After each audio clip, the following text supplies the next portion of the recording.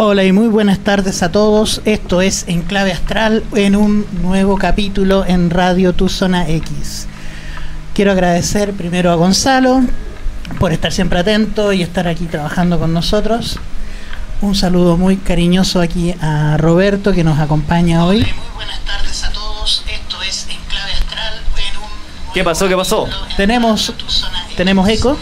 Ah, es acá. Es acá. Es tu celular. El celular. Eh, y aprovechando de, de- de saludar entonces a Esteban del Pino, que es nuestro invitado el día de hoy, porque Hola, vamos a hablar y vamos a retomar un tema que ya tratamos hace unas semanas, pero no con la suficiente profundidad, que es un tema sobre las escrituras sumerias, que es, como todos saben, son los textos más antiguos es- escritos por el hombre que se conocen hasta ahora hablar un poco sobre su mitología, sobre su visión y su cosmovisión, su forma de ver cómo se creó el mundo y quiénes nos crearon como humanidad, y un poco sobre el mito de los Anunnaki, que lo, Exacto. creo que lo hemos escuchado muchas veces, ya como dije, hemos hablado de eso hace un par de semanas, pero creo que esta vez tenemos que tomarnos el tema un poco más en serio, porque hay mucha gente que se ha dedicado a estudiarlo, a trabajar con ellos con mayor o con menor éxito. Comencemos entonces con lo siguiente. ¿Qué son los escritos sumerios? ¿Quiénes son los Anunnaki? Bueno, como dije antes, las tablillas y las losas de Sumeria deben ser los escritos más antiguos descubiertos por la humanidad. Los que sobreviven. Exacto. De su mitología y de su relato de la creación del mundo, tenemos que decir que se derivan eh, la- prácticamente la mayoría de las De todas las mitologías. de todas las mitologías de- del Oriente cercano y de Occidente. No me atrevo, no me atrevo a decir de China o de o de Mesoamérica. No, pero tienen también un. Tienen algo en común todas estas mitologías. Un dejo, un rastro. Eh, un claro, dejo, un rastro, una claro, inspiración. Por ejemplo, el rey mono Ya. tiene también algo de estos. de estas cuatro principales deidades que son las que rigen la tierra. San Goku, para que lo vean. Claro, sí, eh, Wukong, que Claro. eh, es de donde se inspiró incluso Dragon Ball Z, el personaje Goku. Eh, también ellos creen en estos dioses, digamos, que eran los que estaban encargados, que eran como las potestades de, de cada región de la Tierra. O sea, ellos tenían eh, los elementos, cada uno tenía Sí. los elementos. Hasta, hasta mm, acá hablábamos el otro día, la, eh, el Galáctico también es una versión también del Rey Mono, pero llevada al espacio también. también Claro. Sí, o sea, y si, nos Hay acorda- varias. y si nos acordamos, en los años 70, 60 también hubo una versión animada Goku. que se llamaba El Invencible Goku, Goku. que era precisamente la historia del Rey Mono tomada de una manera más directa. Sí. Eh, los que son mayores de 50 años creo que se acuerdan de cuando vieron por primera vez Dragon Ball o Dragon Ball Z dijeron, "Ah, acá hay algo que Sí. algo me recuerda. Bueno, Sí. pero yo creo Bueno. que el de los primeros autores que comienza a, a basarse ya directamente en las tablillas son H.P. Lovecraft. Ya. Él es el, digamos, uno de los de los pioneros en, en las tablillas por el tiempo en el que él también escribió, que es justamente cuando se hicieron la- las investigaciones más, más en serio. Estamos hablando de principios del siglo XX. Claro, estamos hablando desde el, desde el 1921 hasta el 1935, que Sí. es donde se escriben los, los mitos de, De Cthulhu. Cthulhu. Claro, y él estaba igual con más escritores que estaban todos Mm. como en esta... El círculo de Lovecraft. Claro, este círculo de, de investigación y que se dedicaban ellos a, a investigar estas traducciones. Y que Eh, todos los amigos al final confabularon para hacer que el Necronomicon todos pensaran que era real. Claro, eh, O sea, hasta el día de hoy hay gente que habla y te encuentras algunos vergonzosos youtubers que hablan de la existencia del Necronomicon. o sea, Claro, yo por ejemplo comencé leyendo mucho a Lovecraft y ahí fue donde nació mi, mi Interés, en, en las tablillas sumerias y ahí comencé ya a indagar y a ahondar más en el, Del tema. en el tema hasta ya encontrarme después con cosas mucho más, más interesantes. ¿Como cuáles? A ver. A ver, ¿con quién te encontraste por primera vez? y quién- Eh, o sea, ¿Cuál Mar- fue Marduk que- fue la- la- lo, lo primero que me llamó más la atención, digamos, del Necronomicon, por Ya. lo menos lo que era el Necronomicon. Pero claro, Lovecraft, por ejemplo, en su en su mitología inventó muchos personajes. Sí. O sea, Cthulhu, Eh, Azatoth es una variación de Astaroth, entonces él igual creó mucho, o sea, es muy autor eh, de más, más de terror y ciencia ficción. Lo que pasa es que, claro, Lovecraft, eh, Lovecraft logró transmitir sus fobias en, en, su, en su obra, es decir, Lovecraft le tenía miedo al cielo, le tenía miedo a los extranjeros, le tenía miedo al, agua, o sea, le tenía miedo prácticamente a todo, o sea. Y vivió en un tiempo tremendamente turbulento también, porque fue justo, todo esto fue justo antes de la Primera Guerra Mundial. Exacto. Bueno, Lovecraft, cuenta cuentan los mitos que él estaba cuidando a su mamá enferma y aprovechaba los ratos de, en que la mamá dormía, se sentaba al lado, ponía su escritorio y empezaba a, a, dar rienda suelta a lo que a lo que se imaginaba. Y uno de los datos curiosos decía que cuando se carteaba con Robert eh, Howard, el autor de Conan. El bárbaro. Exacto. Eh, hay otro caso, sí, el, detective. Sí. Pero eh, uno de los datos que decía que Robert Howard se le encantaba le encantaba poner a los monstruos de Lovecraft para que Conan los matara de un espadazo. Sí, pero también se cuenta que um, Lovecraft empieza a exorcizarse de alguna manera porque muchas de estas visiones él las tenía en sueños y él empieza a escribirlas para empezar a tratar de llevar una vida más grata. Cosa que curiosamente pasa lo mismo con H.R. Giger. Que tiempo más tarde. y yo creo que con muchos autores más y, personalmente también. Y con Robert Howard también pasa. Es decir, y agregaríamos a Germán Gies también. También, también. Robert Howard contaba que, que durante las noches el espíritu de Conan se paraba detrás de él y le narraba las historias y que no se, y que no se atreviera a voltear a verlo porque si lo hacía lo voy a matar. Sí, sí, sí, eso es verdad. Pero mire, empecemos. Bueno, pero concentrémonos un poco. Claro, en, la, en, ¿qué, son las tablillas? Ahí la estábamos viendo hace un poquito. Sí. ya. ¿Qué son las tablillas? Entonces, la, primera investigación ya seria fue eh, llevada a, a, cabo por el cónsul británico en Basora. J. E. Taylor en 1854, sugerida por el Museo Británico. ¿Ya? O sea, son los británicos los que primero se, interesan, en, esta, en, las ruinas de Ur. Perfecto. Lo que ellos andaban buscando realmente era la ciudad bíblica de Ur. Porque, bueno, como todos saben, después de la Edad Media se perdió toda la cultura babilónica, siria, persa, que fueron los que heredaron, digamos, toda esta cultura y se reemplazó por, la, por el cristianismo católico romano. Entonces ahí, claro, impuesta la fuerza, entonces ahí ya se cortó toda esta, toda, todo el interés por esta cultura y se dejó como olvidado, digamos. Se saquearon y se quemaron muchos templos también. Claro, se saquearon, se destruyeron y todo esto pasó al olvido, mm. digamos, hasta 1854, que vuelven los británicos a buscar la ciudad bíblica para corroborar, digamos, que la empezar a verificar los relatos bíblicos lo mejor que se pueda. Claro, porque son los, estamos haciendo eso. Porque son los escritos hebreos los que sobreviven, digamos, a la Edad Media. Sí.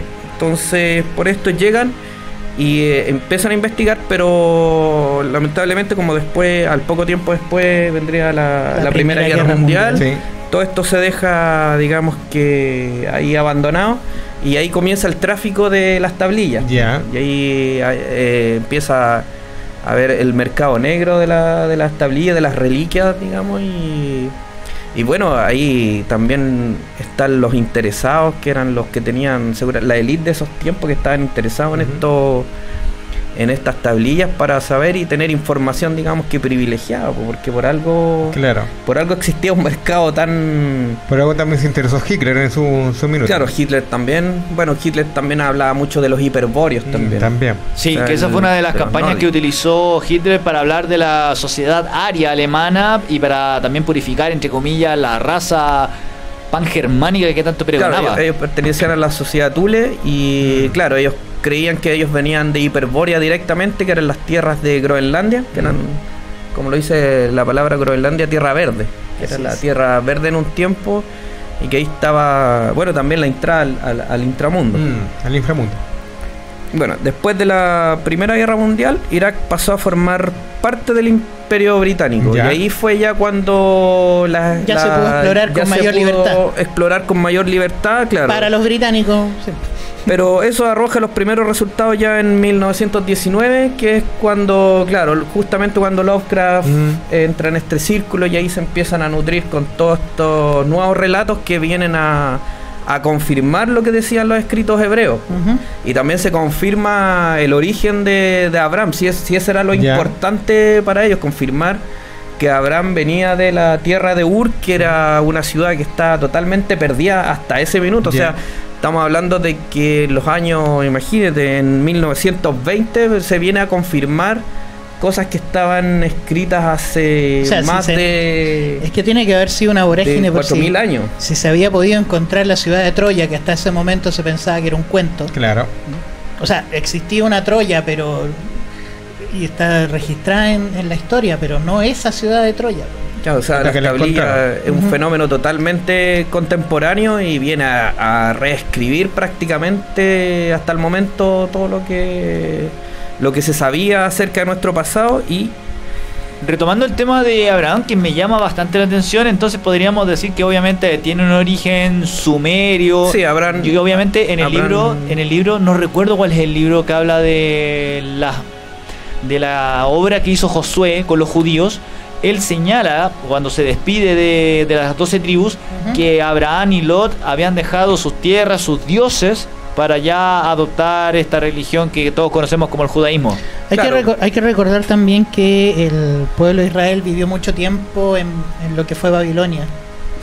Y Pero eso ya es y a mucho- posteriori. posterior, claro. Sí, pero mucho de su- fueron- fue destruido Pero fue en esa época, fue en esa época en que empezaron a escribir sus textos sagrados. Entonces, eh, no es de extrañar que, que hayan querido que hayan querido fusionar o mezclar su cultura con la con la cultura babilónica donde estaban viviendo. Es decir, Me estaba acordando, se los recomiendo desde ya. Hay dos libros de Isaac Asimov que están como buen in- investigador histórico, científico y todo lo que él fue, aparte de ser escritor de ciencia ficción, eh, que se llama eh, Las Guías de la Biblia. Está el Nuevo Testamento y el Viejo Testamento, así es. en el cual él da con datos fidedignos eh, las localizaciones reales a nivel de mapa histórico y social, donde se cuentan muchos de los hechos que narra la, Donde, textos sagrados. donde deberían estar las locaciones Claro, eh, hace poco también se encontraron los muros de Jericó, Claro. la ciudad de Jericó, y lo que se estaba buscando, pero nunca se ha podido,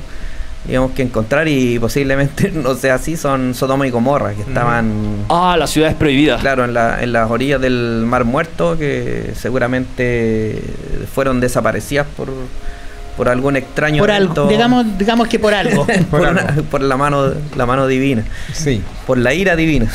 Sí, eso yo creo que es la frase más, más clara, la ira divina, porque Sí. la Biblia se habla, como dice una La- canción la de... ira de Yahvé. Claro, que una canción que dice un grupo chileno que se llama González y los asistentes en uno de sus temas, la Biblia dice que Dios nos castiga, pero a la vez nos ama.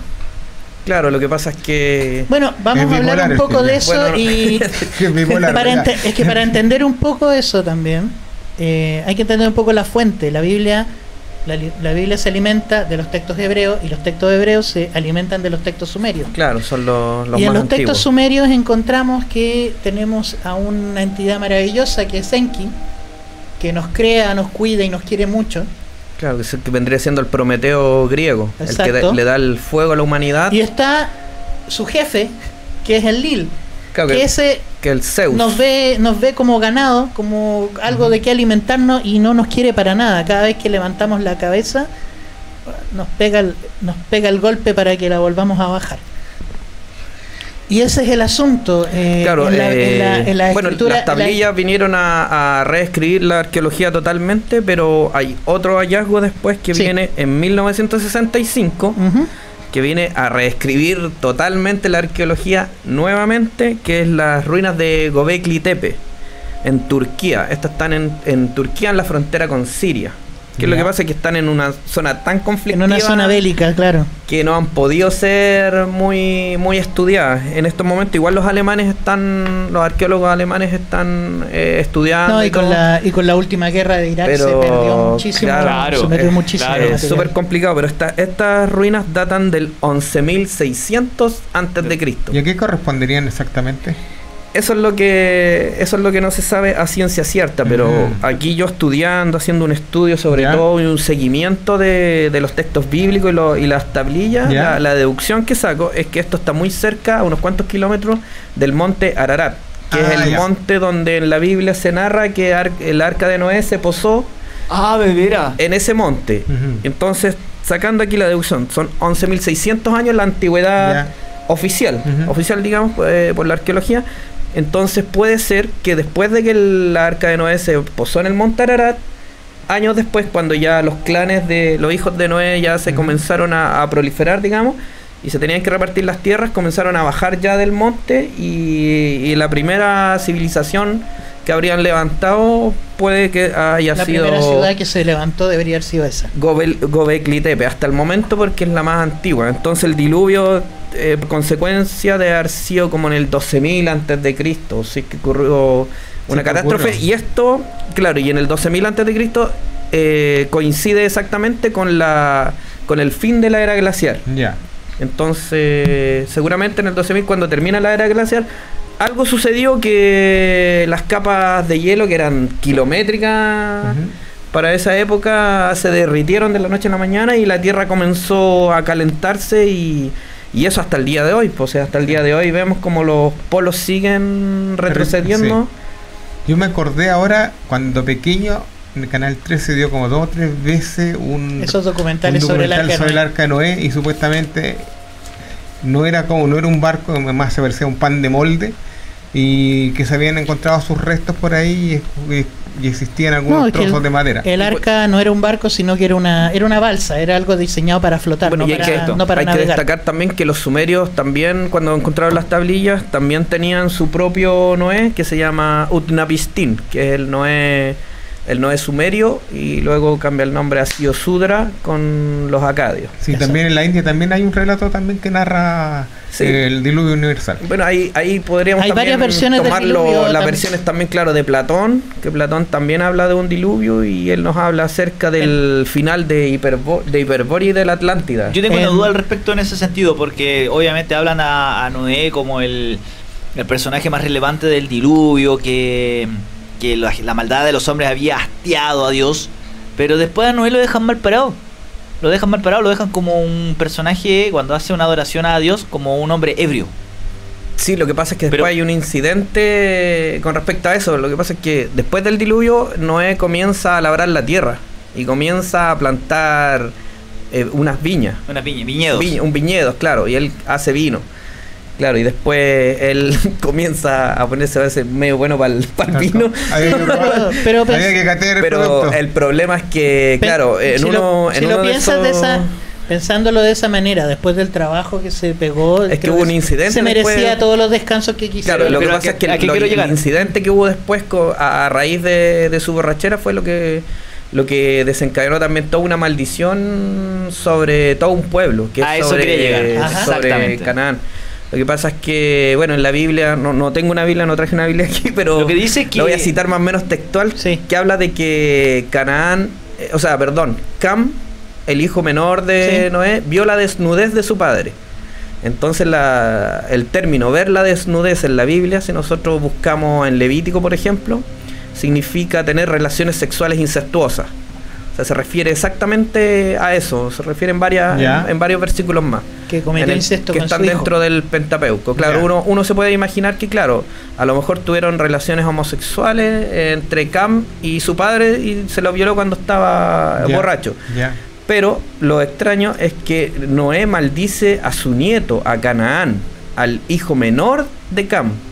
Entonces ahí también podríamos deducir que a lo mejor ver la desnudez de su padre se refiere también a que él tuvo relaciones sexuales con la esposa de Noé. Podría ser. Podría ser. Y, también, y también por eso es que maldice a Canaán el hijo y el fruto de esta relación incestuosa. Efectivamente, y también señala que los otros hijos, uno era Sem, el otro no me recuerdo el nombre. Jafet, Jafet. Sem, Cam y Jafet, sí. Exacto, Sem y Jafet eran a ser poderosos y que Cam iba a ser su Iba a esclavo. ser su esclavo, y claro. que Canaán iba a llevarse el peso de, mm, de todo lo que había hecho Cam.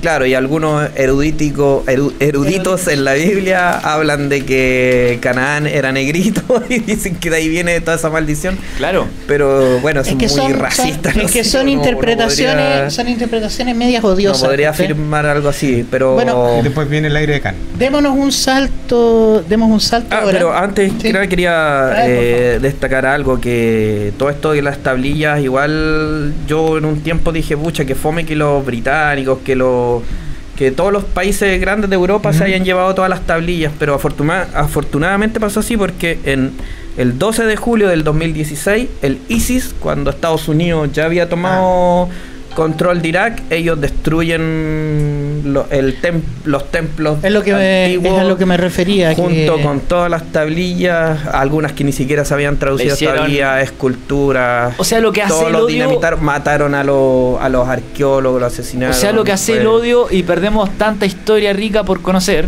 Qué increíble.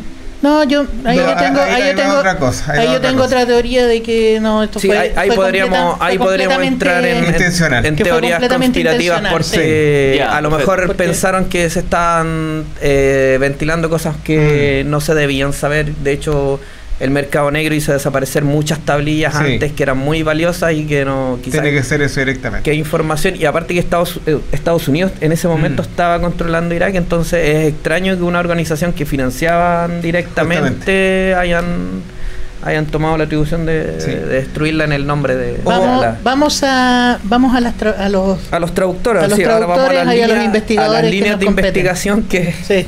que bueno el Tú me mencionabas a uno que era Samuel Noah Kramer, que Sí, fue eh. uno de los primeros traductores entre comillas serios de Claro, Noah Kramer viene siendo de, los de los primeros y de los precursores asiriólogos. Eh, los padres de Noah Kramer eran, eran judíos, ellos tuvieron que escapar de Ucrania eh, por la persecución que, que sufrieron. Claro. Y luego eh, el padre de, de Kramer era profesor de lengua hebrea. Ya. Sabía mucho de lenguas antiguas, entonces por ahí Kramer, eh, al estar relacionado, bueno, ya viviendo en Estados Unidos, Ya. en la escuela de, de su padre empezó, empezó a, a comprender todas estas a traducir todas estas lenguas Mm. que son demasiado antiguas y que realmente tiene que ser una persona que esté muy muy familiariz- familiarizado. ¿Y en qué Kramer fue momento- como un, como un iluminado. Exacto. Y él fue el que descubrió, digamos, y cuando lanzó su libro, que es La historia comienza en Sumer, Así que es. este libro sale, eh, por aquí lo tenía. Bueno, no veamos la, la fecha tanto, pero cuando él saca este libro, reescribe totalmente la Digamos, fue, arqueología. la- fue más o menos la década del 50 cuando sacó el libro, ¿no? Fue 50 60. Claro, es que aquí lo tenía. Sí. Aquí está en el 1956. Ahí sale el libro La historia comienza en Sumer y ahí ya se reescribe totalmente la arqueología y se ¿Y en qué momento llega, en qué momento llega Zacarías Sitchin al cuento? Luego saca, sacaría Sitchin ya estamos hablando de los 70, de los 70. Y él, bueno, él no era totalmente traductor, Sitchin era economista. Exacto. también sí. norteamericano y... En los 70 yo entendía que eran como finales de los 60, pero bueno, ya. Así es. En el, el- el primer libro que él sacó, que es El doceavo planeta, Ya. fue presentado en 1976. Exacto. Ya. Y ahí ya él hace popular este tema porque, Esa, claro... esa es la gracia de Zacarías Claro, Sitchin, lo que pasa es que Noah Kramer era muy, era muy, pero eh, estaba digamos dentro del muy- era un profesor, él era estaba un dentro del círculo académico. Era entonces- muy, muy académico, entonces todas sus enseñanzas eran netamente académicas y, a- y apegadas al contexto histórico. Lo que hace Sitchin es ya presentarnos eh, un, un universo totalmente distinto porque él ya está hablando de que estos dioses en realidad habían sido seres extraterrestres que nos habían visitado eh, mucho hace mucho bueno Él de el hecho primero- ellos fue- llegaron a la tierra mucho antes de que existiera el ser humano acá Él fue el, Sí. pre- el, el que comenzó con el concepto de los reptilianos, ¿no? No, no. No. Eh, Sitchin lo que hizo fue todo lo contrario. Sitchin decía que resaltaba la forma humana de estos dioses y de hecho como que la lo escondía esto de est- esta cosa de los reptilianos. El que fue el que el que destapó la teoría de los reptilianos fue Da- David Icke. David Icke, sí. Y por eso tuvieron hartos problemas también con Secharía Sitchin a raíz de lo mismo, porque A ver, Sitchin- uno desmentía al otro. Y ese fue el gran conflicto que tuvieron por el tema de los... Zacarías Sitchin De los tuvo, aparte de, lo- de- de los inmensos méritos que tuvo de empezar a, a- Fue el que hizo a pop- popularizar, popularizó este, el a tema de popularizar este los, tema y hacer que la gente se interesara, de los alienígenas ancestrales. que se empezara a interesar sobre, la, sobre un origen del mundo un poco más antiguo. Eh, tenía grandes problemas también porque le- empezó a meterle mucho de su cosecha. Digamos que empezó a novelizar la historia, A eso voy. empezó a rellenar Sí. los espacios vacíos de Mm. las traducciones Sí. eh, con datos que tal- no estábamos muy convencidos si habían sido idea de él, idea de los editores Claro, o, lo de pasa algún, es que, mira, o de lo- algún otro escritor que se metió por ahí. Los primeros libros que él saca, que es por ejemplo el doceavo planeta, eran libros más que nada de investigación. Claro. Y estaba súper claro ahí hasta el momento. Igual él tenía teorías propias, como por ejemplo Nibiru. Ya, este, este gran- planeta, claro, a este, eso quería llegar. Este planeta problema- errante que tenía una órbita de 3.600 años. Sí, pues el gran problema de Nibiru. Entonces, ¿de dónde, de dónde saca, saca esta idea Secharia Sitchin? Él lo saca eh, en una tablilla que hay sobre los, los reyes sumerios, que cada reinado de, de- de cada rey en Sumeria duraba 3.600 años. Entonces, a raíz de esto, él, des- él sacó la deducción de que cada vez que regresaba Nibiru a la Tierra, el rey de la, de la Tierra tenía que ser cambiado. Y de ahí viene la teoría de, de Sitchin. Bueno, y aparte de que en unos grabados estaban, habían 12 planetas alrededor del Sol.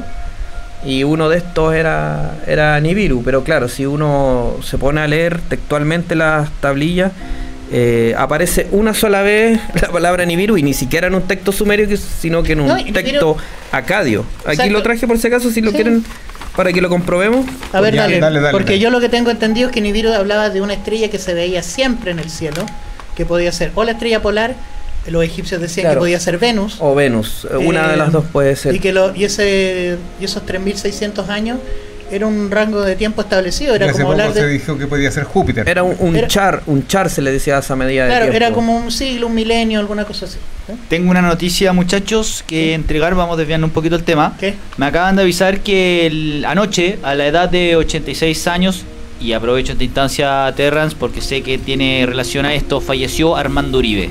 El mismo día que falleció Pedro Lemebel y Nicanor Parra. Uno de los grandes escritores chilenos nos acaba de dejar a la edad de 86 años Sí, y lo- con un legado increíble. Así que había- quería aprovechar la información. Lo había leído hoy día antes de venir para acá, sí. Fallecimiento de Armando Uribe y no lo mencionamos en el en LDP, Se que, fue. que fue el fallecimiento del actor eh, Terry Jones, que era parte de los Monty Python. Para los que vieron la vida de Brian, era la mamá de Brian. Bueno, sigamos con esto. Eh, Ya, entonces vamos a leer ¿qué es a continuación ¿qué, es lo que, lo se habla ¿Qué es exactamente de Nibiru ¿Qué es en las tablillas? Nibiru aparece exactamente en el poema épico Acadio, Ajá. que no es sumerio, o sea, es posterior, que se llama Enuma Elich, que es el, es el génesis de los acadios. Así es. Eh, se, se parece mucho al Génesis bíblico también. De hecho, también son siete tab- también eh, tiene el número 7 simbolizado con siete tablillas. A lo mejor por eso es que en el Génesis bíblico se habla de siete días. Sí. Porque el Enuma Elish está escrito en siete tablillas. En la tablilla 5 se dice: Construyó estaciones para los grandes dioses, las estrellas, semejanzas suyas, sus imágenes astrales. Las estableció, determinó el año, definió sus límites. Para cada uno de los 12 meses, tres estrellas erigió. Después de trazar los sectores del año, instaló la estación de Nibiru para fijar sus ligámenes, de, de manera que ninguno pudiere transgredir o aberrar las estaciones de Ea y Enlil estableció junto a ella, abrió puertas en ambos lados. O sea, aquí, Aquí, hay un habla... peque- aquí hay un pequeño detalle. Eh, Dios, o como lo llamen en los textos acadios, eh, aquí el dios, Dios- es Marduk. Marduk- Marduk, es el Marduk que llega- crea el Marduk llega a la Tierra y la organiza en siete días. No la crea en siete días. Es, un- es como un pequeño detalle que entiendo yo aquí.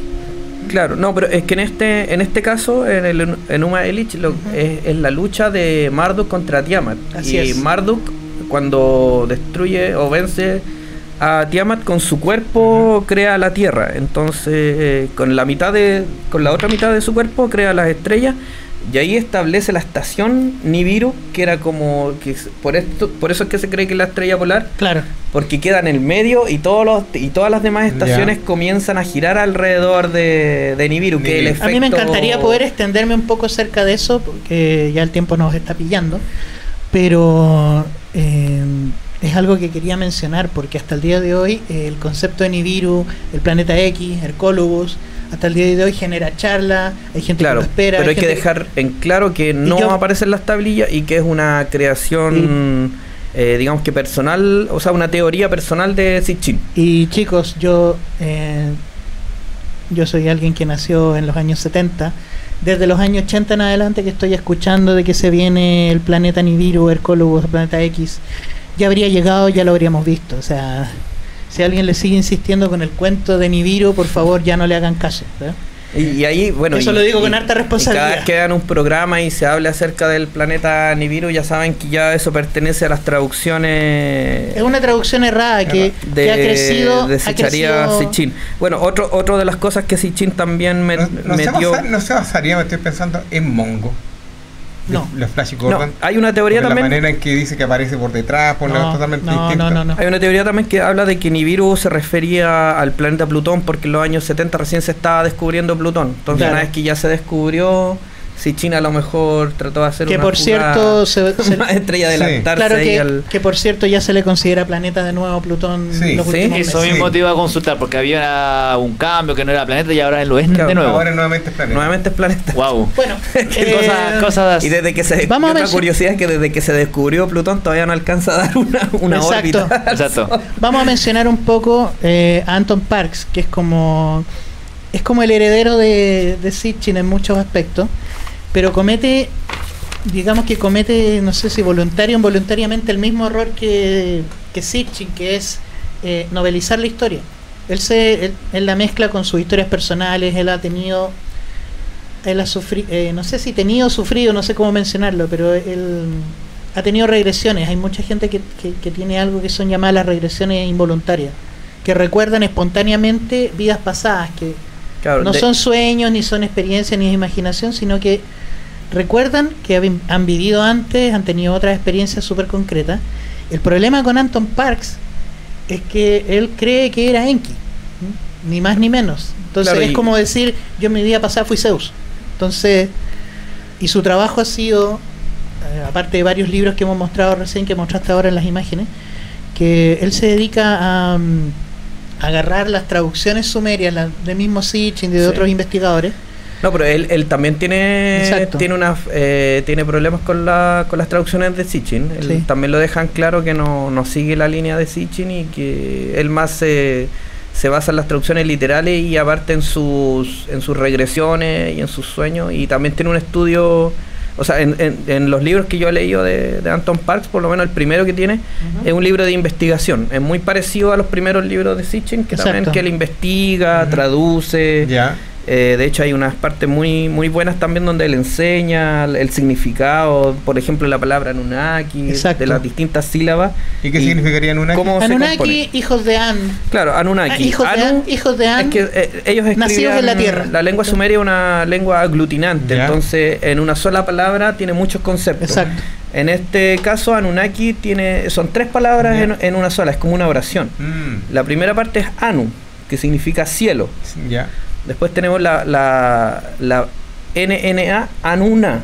Anuna se le decía a todos los dioses del cielo en general. Sí. Todos los dioses eran llamados Anuna, que son como, vendría siendo la traducción como seres celestiales, o sea, seres, divinos del cielo.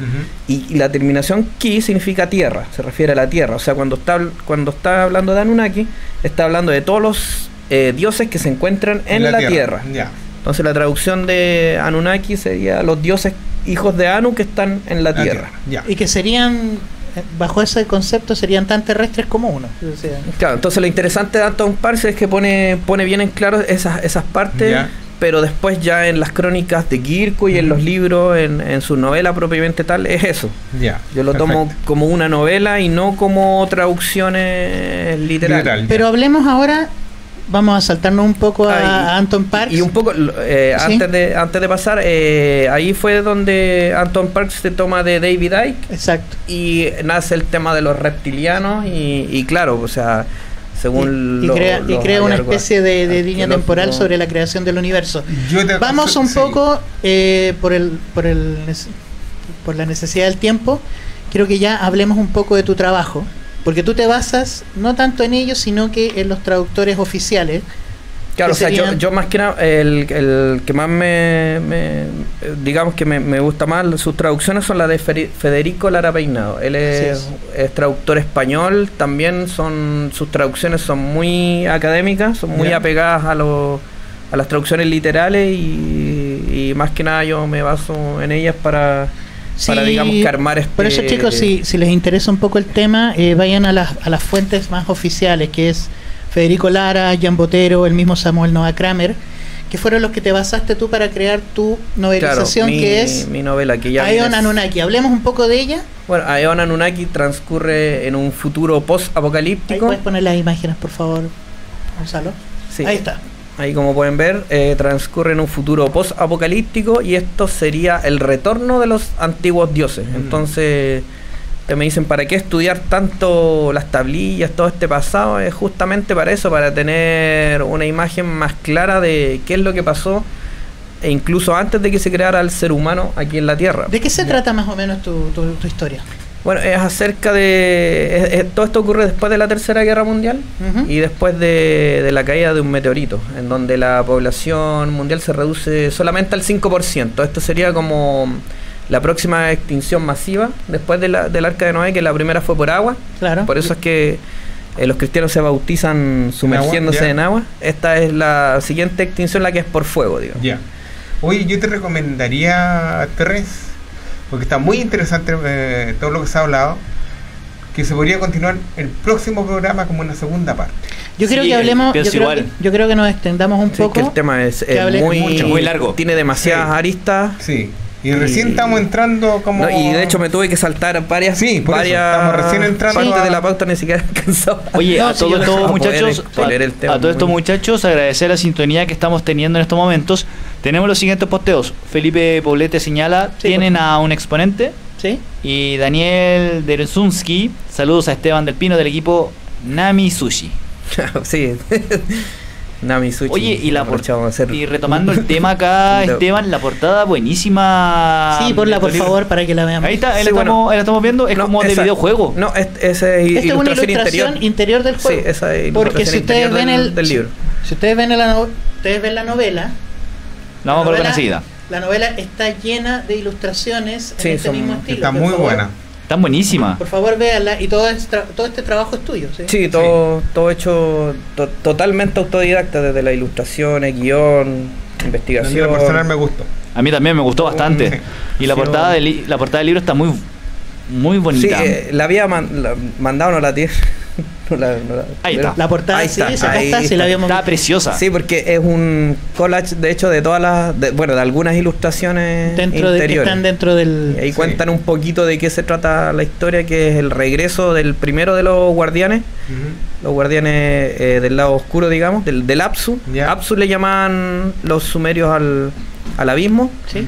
Y bueno, ellos llegan con ejércitos, con sus ejércitos de insectoides, que son, son los sixestines. Y bueno, y el protagonista de toda la historia es Ociel, uno de, de- de los cin- del 5% que queda de la humanidad. de la humanidad que ha sobrevivido y que tienen que pasar por pruebas, imagínate, o sea, estamos hablando de los, de los, de los tiempos finales. hasta, hasta Jesús nos advirtió de que mejor que las mujeres ni siquiera queden embarazadas ya, ya, ya para estos tiempos, porque en realidad eh, lo que se viene eh, es un poquito chocante al principio, igual al, al principio choca un poco tanta, Tanta violencia. tanta, o sea, más que violencia, tanta, ta- tanta como Crueldad. exterminio, exterminio. Eh, La ira, ahí, ahí está explicada la ira de Dios ahí con todo su, su de- contexto, pero, pero lo interesante es que el protagonista tiene que pasar todo esto para, para que él aprenda. O sea, todo esto es, todas estas son pruebas de, digamos, como de aprendizaje y un crecer un crecer espiritual porque para poder entender eh, la vida en sí uno tiene que llegar digamos que a los límites Un Ahí- segundo antes de continuar. Pido una- una breve sí, consulta. pero vamos a nuestros Sin auspiciadores, ningún por favor. Ya. Y ahí continuamos. Perfecto. Nos pueden seguir escribiendo en estos momentos en las redes sociales. Sí, de por favor, Zona para X, verlo, tu para ver los X, comentarios. Porque queremos seguir agradeciendo la sintonía. Ahora sí, nos vamos con nuestros patrocinios.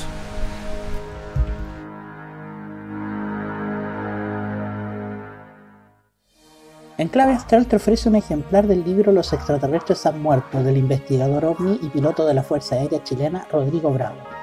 Una mirada a la historia de la ufología actual que nació en el siglo XX con el avistamiento de Kenneth Arnold y esas naves que se movían como platillos rebotando en el agua. Encuentra esta imagen en nuestro sitio de Enclave Astral en Facebook y contesta la siguiente pregunta. ¿En qué año ocurrió el avistamiento de Kenneth Arnold con su descripción de platillos volantes? Recuerda además que el primer libro de Rodrigo Bravo, Ufología Aeronáutica, con un completo registro de avistamientos experimentados por pilotos y torres de control tanto en Chile como en varios lugares del mundo, está disponible para descargar gratuitamente por internet. Búscalo en Twitter con el hashtag Ufología Aeronáutica.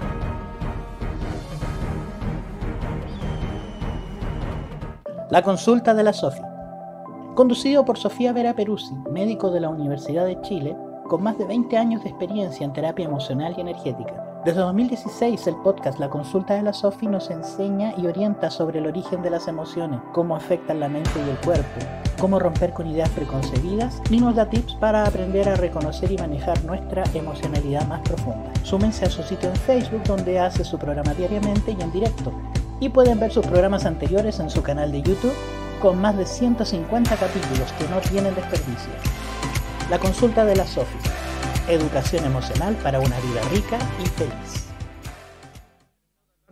Sí, adelante. ¿Tenemos algunas preguntas entonces, Gonzalo? Vamos a corroborar en este momento las redes sociales. Porque acá tengo unos saludos de Michael Rivera, de José Alburquerque, de Dula Araya, de Fred González y Paulina del Bosque, de Matt Yuria, de Michael Rivera, ya lo mencioné, de Karen Agatha Barnett Porque y acá viendo- Leonor Dilamarca. Porque acá viendo Hola, las Leo. redes sociales de Tu Zona X hay Sí. muchos saludos. Bueno, aquí se agrega Patricia del Pino que nos pone un pulgar Adidas. Arriba bien digo, muy bien, señala por el- nuestro invitado. Con pulgar Adidas. la- Adidas, arriba. En clave austral. En el- un lugar arriba en enclave austral y yo me equivoqué con las tablillas egipcias. Sí, Sí. son cosas que son Sí. cosas que pasan. Oye, yo le estaba haciendo una pregunta Sí, por favor. a Esteban y tiene relación con lo que estabas mencionando en tu libro. ¿Cómo trabajas acá el concepto de la fe? Eh, de la fe, bueno, eh, para mí, más que, más que dioses, eh, lo, lo veo como, como seres con una tecnología y con un nivel espiritual mucho más desarrollado que, que el de nosotros. Pero no dioses. Eh, o sea, es que depende de a qué le llamamos dioses. Porque tú hablabas bastante del marco espiritual que el protagonista tiene que pasar por este periplo. Claro, es que son, son pruebas, claro, que lo hacen más fuerte. O sea, tiempos difíciles hacen hombres fuertes. Tiempos Los tiempos fáciles los ablandan. Y no, y no es broma. Claro, entonces ese es como el concepto, él tiene que pasar por esto para poder asumir el, el rol, digamos, de líder, porque lo, lo que se viene para él es como una responsabilidad, digamos, que muy grande y por eso tiene que pasar por todo este... Periplo. Es un poco como, el- como las historias que cuentan en los escritos antiguos, es decir, un ser humano que tiene que tiene que poner plantarse en sus pies y, y representar a la humanidad en lo que en lo que viene, o sea, Claro, aquí, por ejemplo, yo me basé mucho en, en el- en la travesía del héroe para, para escribir De- el, Campbell, texto. Es como muy... eh, él recibe el llamado, digamos, primero, viene la negación y después ya viene tener que aceptar y vienen sus maestros y tener que pasar por todas estas pruebas. y después por- viene el porrazo Claro, grande y claro. la de caída y después Y después, claro, en mitad más o menos viene el, el porrazo más grande, que ahí no sé si darles un adelanto todavía. No, no, no, yo creo que es muy importante que la gente Sí, que la gente lea el libro, pero es importante saber qué es el protagonista, en qué contexto está, es decir, Claro, en un futuro post-apocalíptico y bueno, él, él se encuentra después con todos estos seres que comienzan a regresar de a poco desde sus prisiones porque ellos habían estado prisioneros en, en la, en la di- dimensión, en el inframundo, que vendría siendo el infierno, Sí. Que es gobernado por otros dioses, o sea, el infierno aquí, eh, para los sumerios, eh, porque está basado en los sumerios, Sí. es como otra dimensión, digamos, que está gobernada por, por otro, por, por una diosa, por una diosa mujer, que vendría siendo como otro universo con sus propias leyes físicas y, y en general, o sea, otro, un universo en paralelo. O sea, te, te quería preguntar, porque no he como obviamente no he leído la, no he leído el cuento, no he leído la novela. Sí, y- Existen, eh, como digo, te estás basando bueno, en las eh, traducciones de, de los, de los autores originales. O sea, de la- en las traducciones de las tablillas originales. Exacto. Y bueno, eh, esto fue hace un año, fue desde el año pasado, y ahora ya próximamente, el- espero de aquí a tres meses ya tener listo el segundo capítulo, así que aprovecho la Pasar instancia para, Buenísimo. para poder, para estás poder auto- anunciar que se viene la segunda parte y para que puedan adquirir la primera, porque la primera está buenísima, trae... Esto es eh, autoedición, ¿o ¿no? Todo, todo, todo Autogestión. totalmente autogestionado. Perfecto. Buenísimo, qué fantástico. Sí. Oye, acá nos escribe eh, nuevamente el auditor Felipe Poblete que está quedando con gusto a poco porque se nos ha ido bastante Sí, rápido el programa. Eso Sí. estamos diciendo, continuamos la próxima semana. Sí, Yo creo, creo que sería súper útil que no- nos dedicáramos íntegramente al programa y que nos pudiéramos adelantar un poco de la segunda novela, de cuánto viene, qué sé yo. Eh, bueno, la segunda parte. No son- tengo, yo no tengo ningún problema en continuar con este tema porque a mí el tema de los de los Anunnaki, de cómo influyen en, de cómo inf- supuestamente influyen en nuestras vidas hasta el día de hoy, desde otras Sí, dimensiones. pues tenemos que hablar de los Anunnaki, no hemos Exacto. llegado todavía a los Anunnaki. Sí, pues sería súper interesante, no sé, en un próximo programa ver, por ejemplo, el tema de, lo, de las tablillas en sí, o sea, de qué hablan las tablillas en sí, eh, poder ver al, eh, uno por uno los, los poemas y Ya. ir... En resumen, ¿en qué hablan la- las tablillas? Bueno, las tablillas en resumen hablan de la creación del ser humano, por Ya. ejemplo. Hablan de que estos dioses llegaron aquí hace más de 450 mil años. en la región de Turquía. Eh, no, ellos re- llegaron a Sumeria, a Sumeria, porque ahí era donde tenían mejor, mejor manera de aterrizar, digamos. Y ahí fue donde construyeron la, la primera ciudad que fue Eridú. Esa fue la primera ciudad hace 450.000 años. Y luego empezaron a, a- a proliferar, digamos, y vino una rebelión, la rebelión de los Ijiji, que eran los dioses menores. Porque- ah, verdad. Porque que ellos lo se que- negaban a seguir trabajando la tierra, a cavar zanjas. Lo que, lo que entiendo es que llegaron y los ríos Tigres y Éufrates fueron re- fueron canalizados por esta gente, Claro, por para- los Yiji, que fueron creados. Ahora, hoy día podríamos decir que genéticamente fueron creados. Ustedes van a. podrían ser incluso los grises. Hay, hay algunas teorías que hablan de que los Ijiji eran los, los grises, los grises que venían llegando con Enki, porque Exacto. Enki fue el, el- el, digamos que el primero que llegó. A ver, la gracia de Enki es que el Enki podría ser traducido como. Podríamos decir que es como el genetista, el que se dedica a juntar distintos tipos de Claro. ADN y crear, Era nuevas- el- el y ar- crear nuevas especies. Nudimut era su, su, su otro nombre, Nudimut, Claro. que era el, el muy sabio, porque Sí. él era, claro, experto genetista, claro. Y él aprovecha esa instancia de la rebelión de los Ijiji para, para proponer ahí la construcción del ser humano. Sí. Si miramos las imágenes, los Anunnaki siempre salen como con una cajita colgando. Hoy en día existe la teoría que ahí justamente vendrían estos. Claro, ¿por qué, por qué aparecen con esa cajita? Eh, buena, buena tu pregunta Sí. para aclararlo. que de hecho no solamente salen los Eh, lo sumerios, que pasa sino es que que yo- se puede es reconocer que esa cajita en otras culturas si y en ustedes, otras. si ustedes se fijan, cuando aparecen con esos bolsitos siempre están cosechando ellos el árbol Mm. de la vida. Entonces ahí también, bueno, también ahí tenemos otro concepto Sí. bíblico, es que es el árbol de la vida. Entonces ellos sacan el, el, eh, digamos que el fruto ¿Sí, eh? con la mano con la mano izquierda creo Sí. y el bolsito siempre lo traen en la derecha. Entonces ellos guardan el fruto de la vida eterna en ese bolsito. Eso es lo que eso, esa es la, la función digamos que más, más, más lógica uno al ver al Ya. ver los grabados Pero el ser humano que crea. o sea, asirio en todo caso ya son pero el ser humano que crea Enki no es el ser humano que, que conocemos hoy. No, no somos directamente Claro, lo, que, nosotros. lo que pasa es que Enki lo que hace es crear siete, siete Adanes y siete Evas. Él crea siete parejas de, de seres humanos después, pero después de muchos intentos fallidos.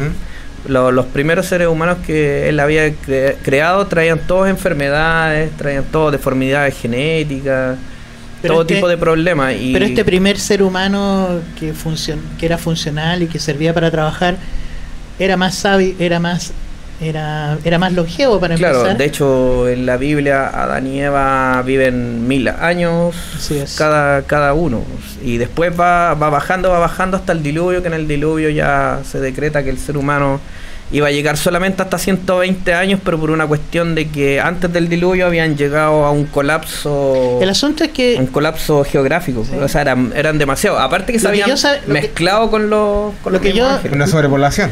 Claro, que, aquí es donde que tengo la es que- aquí es donde tengo la aquí es donde tengo la confusión si no es traducción de, de los traductores oficiales o del mismo Anton Parks que fue un momento en que Enlil que era el digamos que el jefe de los dioses el dios de los cielos Claro, era fue el, el que el dijo- encargado de la tierra. fue el que dijo que ya estaba hastiado de la humanidad Claro, de, su, de su soberbia de su de su ruido. De su ruido Es lo que hablaba. y él es el que el que decide que va a haber un diluvio universal que podemos interpretarlo como este derretimiento violento de las capas polares y la y el final y la finalización de la era del hielo y Enki a escondidas y eso es lo que se confunde en la Biblia y Enki a escondidas le dice a Noé o como se llama en, en los textos Siusudra o una, Utnapistin. le dice que cree el arca, que salve a los animales y que salve a su familia. Y en el momento que Lil se entera de esto, dice, bueno, vamos a hacer un trato. El ser humano va a involucionar. Ahora va a vivir menos tiempo, va Claro, a tener menos contacto con nosotros y, tener menos inteligencia también. y que el ser humano actual tiene todas las tiene todas sus limitaciones, precisamente como el acuerdo de decir, van a seguir viviendo, pero ya no van a estar, Claro, más re- ahora todo es más restringido. Exacto. Sobre todo la longevidad. sobre todo la longevidad. Por eso Ahí no se tenemos una entiende. nueva modificación genética. Para eso. Sería una modificación genética y en uno de los textos, no sé de cuál de los traductores, dice que de que Enki tiene guardada en nuestro código genético eh, las claves para la evolución, que están ahí y que en algún momento las va las debería liberar. Aquí hay una buena pregunta, por eso les quería pedir un, un lapso, muchachos. Sí, Nicolás Reinhem, ¿dónde podemos comprar el libro de Esteban? exactamente. Qué buena pregunta esa. Buena- Te pueden contactar directamente contigo Sí, para empezar. Tienen que contactarse directamente conmigo porque por el momento la, la distribución del, del libro es totalmente autogestionada también y es a través del contacto en mi página Aeon Anunnaki, mi página de Facebook o mi página de Instagram que es Etanael, me pueden encontrar por Etanael Ya. Me envían un mensaje por interno y coordinamos la entrega. Y si no, en, los eventos que hayan, aunque ahora los últimos eventos se, se suspendieron. Pero bueno, ahí está apareciendo en la, en la página de mi Instagram, Etanael con doble N. Y ahí tengo algunas fotos también de... Ah, eh, perdón. Se me olvidaba mencionar, sí estamos en un lugar físico, que es la tienda Jo- Comics, que está en, en el Persa Bio Bio, Víctor Manuel 2220. No en Víctor Manuel 2220. Que, que, que bueno que me, me recordaste. Entonces ahí, ahí tenemos una tienda que es la tienda oficial, nuestro punto de venta oficial en estos momentos. ¿Y cuánto saldría el libro? Eh, 5 mil pesos. Ah, Por barato, la módica baratísimo. Suma 50 páginas, más de 17 ilustraciones a todo color. No, y la historia está interesante, la una ilustración historia está interesante hermosa. hecha con vale la pena. mucho mucho cariño. Bueno, y ahí están los eventos que estuvimos antes del antes del estallido, que estuvimos vendiendo muchas muchas unidades. Estuvo súper súper entretenido. Ahí estamos con el compadre Moncho, de hecho, estamos Qué con Mítica. Ediciones, con Ya con eso te aseguraste el año, o sea, ver al compadre Moncho Miren, siempre da ahí, buena suerte. Gorla. Ahí Sí, Gorla. con, con los chicos de Trauco Sí, también. Y está también nuestro amigo Ahí está Nelson. la portada. Oye, pero felicitarte por el tremendo trabajo. La, la portada, el, Sí. el contexto del que hablas del libro es muy, pero muy interesante. Así que a la gente ir a Víctor Manuel 2220, Persa Vivo Vivo, a comprar este tremendo Y libro. si no me pueden contactar a mí y es- eh, acordamos entregas en el metro y les puedo regalar un póster también para los que se Autografiado. contacten directamente. Bueno, y a través de nosotros, de. Enclave Astral, y yo creo que de a través de LDP Magazine, también. si alguien tiene alguna Sí. duda, hacemos el Claro, enlace. se nuestro hacemos el enlace para que se amigo contacten Javier Ferrera, contigo. que estamos hablando recién Sí, allá. estamos- Y de tu zona X también, por supuesto. Sí. Siempre también preguntando por ¿Te tu zona dar X. un dato de un correo que personal que no es tan caro para ir a dejar el libro? Y también eso Ah, también bueno. puede ser interesante. Sí, súper, súper Porque no te interesante. sale más de 1200, eso se lo puede recargar al, ¿cómo Mira, se qué- llama? al, buen dato. ¿cómo se llama? al, al comprador y él Sí, te lo va a dejar directamente a, la, los a su últimos casa. envíos que he hecho han salido un poquito caros. Me imagino. Hacia afuera, sobre imagino. todo hacia Oye, Chiloé. Sí, hacia sí, sí. No, no, me estamos hablando partes dentro de Santiago. Ah, No. dentro de Santiago. Sí. Ah, por eso. Sí, sí, sí. ¿Qué pasó? Carito para afuera. Qué tremenda foto esa. ¿eh? Ah, sí, ahí estoy. Esa es la foto que te bendice todo el año, sí. sí. La bendición de- Moncho. Eso es cuando recién habían salido los, los primeros ¿Cuándo fue tu lanzamiento Recién del libro? No, yo simplemente salió el libro en Sí. enero. Ya, perfecto. Eh, ahora en el segundo número seguramente ya vamos a hacer el lanzamiento oficial y vamos a lanzar el, el libro de 100 páginas con el capítulo 1 y el capítulo Esa se supone que es Doña Eva. Eso mismo te voy a Sí, consultar. Esa es Eva, claro, ahí tiene el fruto de la, de la, de la vida, pues, el, el árbol de la... Que no es la manzana. Claro, que no, no, es la nunca- manz- en ninguna parte se menciona que sea, no sé, en ninguna parte se menciona de qué, qué clase de fruto es. Mira, yo creo Pero en que... el fondo es, en el fondo yo creo, yo que, creo poco- que podríamos dejar esa foto para un, para un programa completo porque es un tema sumamente complejo Lo que y es ahí que- comienza la- ahí comienzan las teorías ser- reptilianas la serpiente, Adán y Eva, el mito, el mito de Prometeo, el mito con Loki, eh, todos se fusionan en ese momento porque en ese momento la serpiente le dice al ser humano, oiga, usted tiene tanta capacidad como cualquier dios. Lo tienta. Exacto. claro Es que se habla de una tentación, es decir, en la Biblia te habla de que eh, rechazan la sumisión a Dios. Pero mira, Y- y- eh, y- en resumidas cuentas- te dice, no, usted no sea en, en resumidas cuentas, co- como, yo lo veo con mis investigaciones, es que en quien en el minuto de que estalla esta rebelión eh, de los Ijiji, que ya no querían seguir trabajando, y propone la creación del ser humano, lo que en realidad el, el trasfondo de todo esto era un plan que él tenía. Exacto. Un plan para poder, digamos que, reproducirse nuevamente. Entonces, por ahí está la cosa. Por eso yo creo que hay que dejarle un programa entero porque Para se- hablar de esa teoría. es una teoría Oye, sumamente interesante. Terrance Roberto, eh, les quiero hacer una consulta. ¿Qué les parece este tremendo dibujo? Está bueno. Está buenísimo. sí, Está hermoso. Sí. Está Ah, buenísimo. Dice muchas cosas.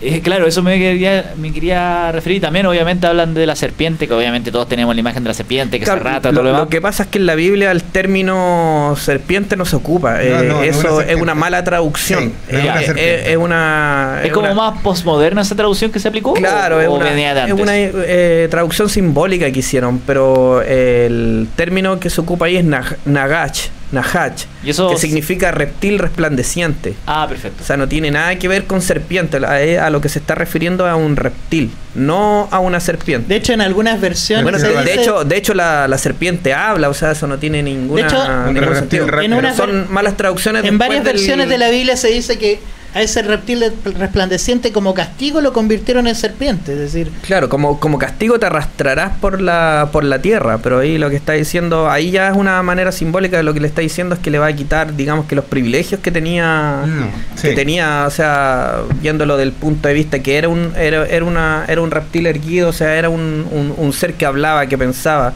que tentó a Eva, Exacto. que tuvo, que tenía un plan, es que era un, Bueno. un guardián, que era el, de hecho era el guardián del, para del- mucha del gente, árbol. para mucha gente les digo que tiene la confusión de que por qué Dios en la Biblia de repente es tan amigo de la humanidad y de repente es tan odioso con la humanidad, es precisamente eso, o sea, en la Biblia se confunde a X con, con el Lil, porque uno protege Claro. a la humanidad y el otro la el otro la ve como, como fuente de alimento. O sea, la- lo- al, principio eran esclavos, o sea, al principio la, la- la finalidad era que los ayudaran con las tareas más, más pesadas, construir los templos, que eran las casas de los dioses. O sea, en un principio los, los templos eran sus hogares, por eso eran tan grandes y tenían... y buscaban oro?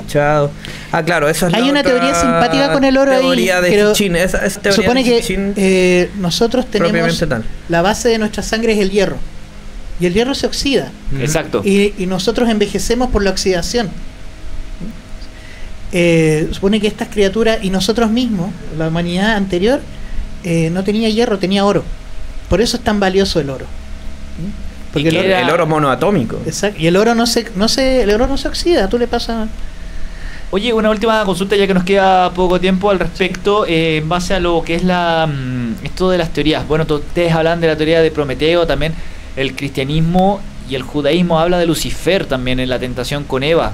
Exacto. ¿Cómo podríamos de representar eso? Yo la, yo la interpreto como que... Es que en la Biblia se habla de serpientes, si en realidad se habla de la ¿Y serpiente. ¿Por qué de- te lo pregunto? Porque en algunas Biblias, particularmente de carácter cristiano evangélica, se habla de Lucifer. Pero Lucifer es. Que- es la que luz Lucifer no del- aparece de hecho en la Biblia, la, es la luz palabra del- luz, no luz del lucero de la mañana. Luz- Lucero de la mañana, Por eso justamente. tenía la duda, que quería Es tener que la vamos, a- vamos de nuevo a lo mismo. Son estos lugartenientes o ángeles o mensajeros que tenía que tienen estos dioses que bajan a la humanidad, le transmiten conocimiento y por esa transmisión de conocimiento eh, son castigados. Loki es castigado porque se porque no respetaba a los dioses. Prometeo es castigado por darle conocimiento a la humanidad. Lucifer es castigado o la serpiente es castigada por darle conocimiento, en este caso a la, a la mujer, a Eva. Claro, y muchas veces la Biblia Y- el término para, para referirse a los ángeles caídos es Hasatán, es el adversario. O sea, claro. ni siquiera se los nombra, no, no se los llama por nombre, nada. Y se los en de- el Antiguo Testamento se le dice a Baal Belzebú. Belcebú, exacto. Claro, ese es uno de los nombres, que Baal vendría siendo Enlil. Y Y, se lo- y se los castiga y se los, bien puesto el nombre, se los demoniza y se los convierte en monstruos cuando en el fondo eran dos bandos diferentes. Y no tenemos que olvidar a Lilith también, porque También. fue antes que Eva. Lilith, Exacto. claro, la primera mujer, claro, las tablillas sumerias, por ejemplo, habla de siete Adanes y siete Evas, pero eh, todos tenían su pareja. Mm. Porque al momento de, de crearlos tenían que crear un hombre, un macho y una hembra, Sí. un hombre y una mujer. Entonces esa es una parte que falta ahí. Bueno, y en la Biblia también dice, pues, eh, Elohim creó todas las especies y creó a su macho y su hembra. Mm. Por consiguiente, a los humanos también los debe haber Perfecto. creado con una dualidad. Y también Bueno, mi podemos gente, hacer un programa solamente de... Se- te dejo invitado desde ya para el próximo jueves. Ya, pues muy... Vamos para con una que- segunda parte. Sí, se nos hizo corto. Para que cerremos el mes de enero con una, tra- una, una historia más clara sobre la historia de los Anunnaki y también una historia mucho más extensa sobre, Claro, y ya sobre tu novela vendría el libro y que nos adelantes un poco lo que viene después. que ahí yo lo aclaro de partida que o sea la, la- el fundamento digamos es en base a las tablillas pero es una historia de ciencia ficción Eh, Eso hay que dejarlo bien claro, claro. no pretende ser una explicación no de lo que ser otro Sitchin no pretende ser que- otro Sitchin ni otro Anton Parks. claro que esto es netamente ciencia ficción una creación pero en base a todos estos conocimientos Yo también te quiero hacer una pregunta para que la podamos responder en el próximo capítulo. Eh, hay bandas de rock duro, prácticamente death metal, por ejemplo Marduk, Nile, Emperor, que hablan bastante de estos conceptos que tú aplicas. También podríamos hablar al respecto de eso. Claro, sí, sí. eh, bueno, eh, la inspiración directa de ellos fue Lovecraft también. Y ahí comenzó, digamos que. Bueno, incluso Metallica también tiene un tema que se llama eh, The Call of Tulu. Que es una composición de Cliff Barton del disco Red of Lighting. Claro, y ellos también tuvieron mucha inspiración en las tablillas, sí, sí, eso es- Lástima es que no podamos ponerlo. todas las, todas las, Pero lo podemos ver en vivo. Exacto. Ahí todas no- las bandas tienen, llevan ¿Ya? los nombres de los dioses sumerios: Marduk, Tiamat, Apsu. Sí. Todas son bandas metal. Y el último, el último ya. Bueno, y porque Hasta- son religiones que digamos que hasta la Edad Media iban totalmente en contra del, del cristianismo, o sea, es por eso. Y pensar que las tropas nazis también tenían nombres de esa misma índole. Eh, sí, pues, pero los nazis ya reciben la influencia hiperbórea, ellos creían que ellos Tenían otra, venían... tenían otra cosmogonía y de hecho la, venían de- la mitología nórdica también viene de esto, Bueno, de y, pues, y leyendo las tablillas seguramente ellos pudieron haber sido una de las siete parejas que se creó y que fue la raza de los cabezas de los cabezas rubias en este caso porque los, Claro. los sumerios eran llamados los, hindúes- los cabezas negras. Los hindúes todos de- tenían la de- característica de ellos era que todos eran blancos pero tenían la cabeza negra po, y ahí aparece la Los hindú también hablan de distintas especies claro, la, ra- humanas. la raza azul que se perdió la raza de humanos azules y la raza de humanos verdes que fue la que se, se perdió hay un pequeño No confundir, Chicos. no confundir con los viejos verdes, claro. Chicos, entonces, eh, ¿cuándo crees que cuándo crees que salga tu próxima? ¿Para cuándo calculas que, que pueda salir la continuación de Aeon? Eh, estamos, o sea, yo estoy en- viendo que de aquí a tres meses, en el, en el mejor de los casos, eh, si es que no tengo tanta pega como ilustrador. ¿Va a ser un lanzamiento también? sí, ahora sí, ahora sí, eh, hay que hacer un lanzamiento, que igual en la primera parte no, no hubo, digamos que el tiempo, porque igual también hay que Bueno, de partida, cumplir con, la, Sí, con yo- los de trabajos. partida para cuando de partida para cuando tenga el lanzamiento ya estás de por sí invitado para el programa, ya sea Sí, para Muchas gracias por la invitación. y probablemente Sí, no, Me lo gustó que- mucho el sí. programa. Sí, lo que vamos a hacer es yo creo que vamos a contactar a alguna de las chicas del EDP para que se contacte contigo y te haga un reportaje directamente de lo que es el libro. Ah, y, yo, y le hagamos gracias. un buen reportaje. Sí, para que pueda tener difusión, porque encuentro que es un tema interesante. Sí. Bueno, este tema yo lo vengo desarrollando desde el 2016. Comencé Perfecto. con Sí. la investigación ya más en serio y bueno, y escribí el libro porque esto está escrito ya, pero en borrador. Ya, y perfecto. ahora voy haciendo la, edita- la- eh, La editando es la un trabajo completamente personal, es decir, eh, aquí tú, tú escribes, te editas, te revisas tus ilustraciones. todo, hasta la corrección de texto, así que por si ven alguna fallita. No, pero el segundo número ya voy a tener corrector de texto y de hecho tengo que agradecer a la Fundación El Arte de Leer que ellos me, me ayudaron ahora con la corrección de texto, así que un saludo también para ellos Perfecto. porque esto lo hicieron desinteresadamente y por apoyarme más que nada, así que Ok, ok. Ya ahí un- chicos. un, Chicos, un saludo a Juan Pablo. Chicos, eh, muchas gracias por la sintonía, muchas gracias por haber estado con nosotros y Muchas acompañarnos. por invitarme. igual. Muchas gracias. Sí, no hay problema. Nos quedó en el limbo que nos estaba saludando la Yossi. ¿Por qué diablos la Yossi no está aquí con nosotros? Que hoy día tendría que estar aquí con nosotros. Porque creo que están aire. en el lanzamiento del trabajo de. ¿De quién? Ay, de Romy. ¿De la Romy? Sí, me parece que estaban. Recién acabo de ver una foto en Instagram que están todas juntas. Chuta, ya. Ya, pues, maestro. eh, se viene. Dios las se viene cultura para. junta. Sí, eso se quería- viene cultura paranormal. Eso quería señalar, no se separen de nuestra sintonía porque a las 22 horas en vivo y en directo se viene un nuevo capítulo de Cultura Paranormal. ¿Y de qué vamos a hablar el día de hoy? Más que nada los chicos, sectas satánicas. Ahí. Interesante. No, Ya, no ya tengo, ahí, no tengo ya ahí. nada que agregar al respecto. Ya ahí. Ya. Ya, pues muchachos. Bueno. Se viene, se viene súper interesante el día de hoy. Muchas gracias por la sintonía. Esto fue En Clave Astral. Gracias Gonzalo. Y nos vemos la próxima semana donde vamos a seguir ha- hablando sobre este tema. Sobre los Anunnakis. Ya, Muchas- pues, que en la semana propongan algún tema, porque el tema es muy extenso, pero o veremos ahí un tema súper interesante, que Sí, puede está. ser las simientes reptilianas. Ah, yo creo que por ahí Hablemos vamos. por el- de los reptilianos la semana que Ya, viene. Muchas gracias chicos. eso. Hasta la semana que viene. La cartija vemos, la cartija no sabemos. Nos vemos. Nos vemos, chao.